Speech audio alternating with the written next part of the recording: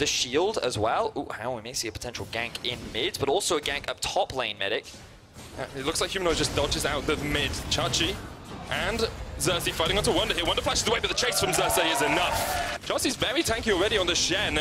Doesn't have the flash, doesn't have the teleport either, of course, to get back into this fight. And Chachi is just going to go down. Jankos fights away the bottom lane. Realm Warp comes in in the mid lane as Humanoid looks for the chase. Caps jumps the wall. Xerxes gets the Infernal Chains, and Caps falls in mid. And Caps Tomes on Kobbe. Once again, Caps jumps in onto Humanoid here, lands the Infernal Chains. Humanoid gets the stand united. He'll be alive for the moment. Chachi looking for the chase, waiting for that Ragnarok's part time out. Mickey here. Stun lands onto Norskeren. He doesn't have flash. But Cullen comes out as well. There is the damage from Mickey. Clean Gets 2v2 from below. Always to Sunday here. Managing to get away from basically everything. Xerxes on his way in as well. The Ragnarok makes you less tanky, of course, and Norskeren joins the fight. That's one down.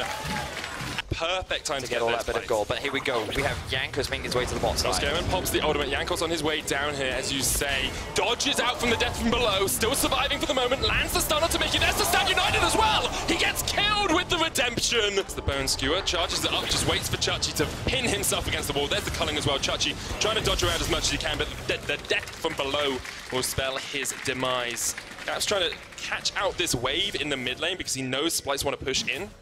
Because G2 on the top side of the map, and he jumps straight onto Xerxes. Holy moly, that's a lot of damage, but the World Ender comes out just in time. Not going to get too much regeneration from that, but it does land the shock blast. Playing to their game plan, and then somehow G2 just miraculously buying picks, buying kills, and they've done it once again. Humanoid out of position in the top lane, and G2 get their third kill in as many. Threat. They always do so much damage, especially the. AoE.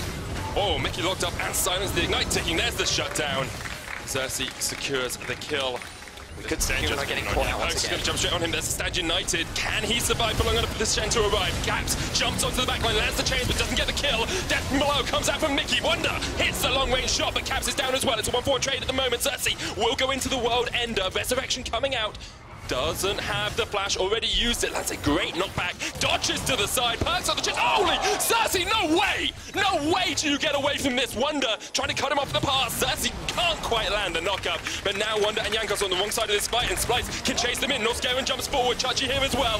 Kobbe doesn't have the ultimate, but does have a lot of damage on that Viktor. A double taunt. Kobbe flashes across the wall as G2 come in from the side. They're sweeping round. Norskeren knocks away Perkz. Kobbe already down though, and now there's no damage left for Splyce. G2 will clean this one up. Chachi lands just short on the taunt, pulled back. Splyce get the kill, uh, G2 get the kill, and end up with the ace. Great stuff there from G2. Now the teleport comes in. Humanoid has something to say about this. The rookie mid, well out of position. TP to his own death, and is I'm gonna say. the flank in from behind, but then their decision making gets split up and they can't actually turn it into any. The obnoxious playstyle of the 1-3-1 means that Splyce are just being spread apart the map and not Oh, scared. Just opens up. Being a stellar standout member for G2. Xerxes gets the damage down with Perkz. Perkz still able to survive, dodging around. Just about survives at the backline. Perkz eventually taken out by the Death Ray, but already two kills. Down for G2. They're looking for a little bit more as Kobbe steps forward. Hits a double for Wunder. Caps locked up underneath the tower. Jumps back. He's still alive. Chachi takes him out in the end. Wunder gonna fall as well. And be to turn this one around because only Jankos Mickey. They will retreat. And in the end, to join the fight, Place might just want to disengage. Caps, look at that flank position. Jumps onto Xerxes, jumps onto Norskeren. Doesn't quite have the damage. Humanoid now teleporting in, but one death from below comes out. World Ender from Xerxes. Catches two on the back backline. Caps has to jump away. And now Humanoid has joined the Barney. Wunder chasing off down towards this bottom side. Perkz so low. Caps chase off towards the top side. Splyce turn the fight around. They turn it back onto G2. Perks trying to get away, but Humanoid puts him in his place. Splyce come out on top. Neck with it, and now Jankos has the flanking position. Norskeren once again gets the headbutt across. Humanoid standing as that front line. Norskeren needs to get out of here already. He's down. Realm Warp out gets two away.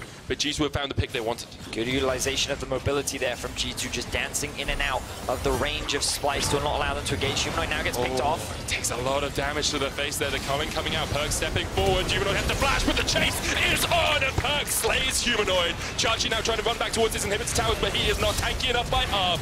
The wall, survives at the moment, but Mickey has the chase, and Perkz has the. Their coach talked about they weren't decisive enough. This is a very decisive move right now, but the it might teleport. pay their downfall. 3,000 HP left on the bound. Mickey there in the front line, but already the bound's down. The redemption not enough. Xerxes gets it now. Splyce, can they get out alive? Already one down. They kill Mickey. That's one kill, but Caps gets on the back line, and the Humanoid is dead as well. It's all on Kobbe to really carry this fight alongside Xerxes. Perkz just dodging around the side. Caps on the back. He has the flank position. Watch him jump into this fight. You have to feel he's going to make the big play as he goes forward. Not scaring down as well. Splice locked up in the pit. Can they get three members away? Chachi jumps away. Caps jumps forward.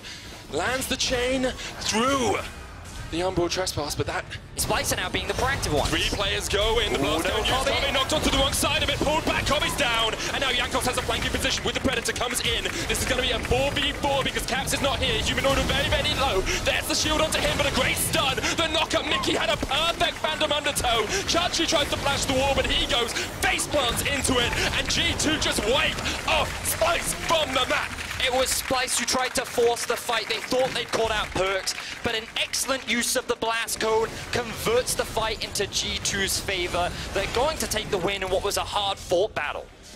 What a game between G2 and Splyce. It looked like it could go either way for such a long time, but for one day more, G2 remain undefeated.